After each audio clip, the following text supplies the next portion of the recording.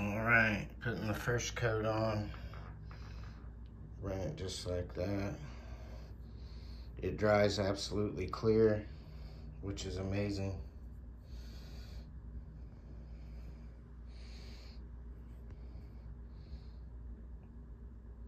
And that's the front, and I'll do the back once the front's finished.